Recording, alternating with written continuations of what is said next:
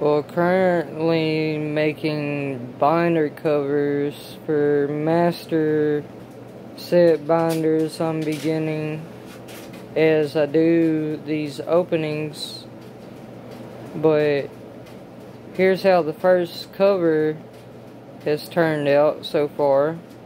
Have yet to make any spines just yet because I want to do the symbols as well as the name on the spine so that's going to be quite tricky. But so far my Chilling Reign set it don't have none of the top top pulls in here just yet. But it does consist of like 52% completion so far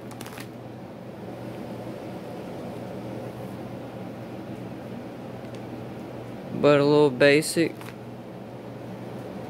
just so you guys can see a quick little flip through of what I currently have of commons and uncommons all the way through some rares so far.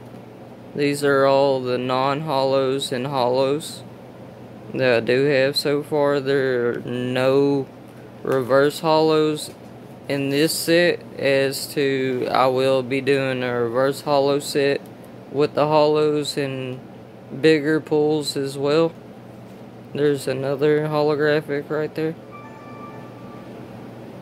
Go in a little closer so you can see it close up.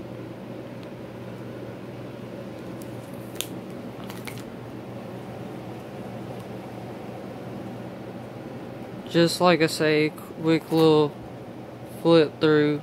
It's not complete or nothing like that.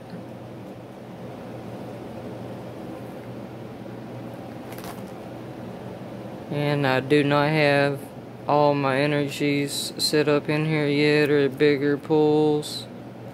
But like I say, it's still being added to and it's only at like 50% completion right here roughly 52%. So, hope you guys like it.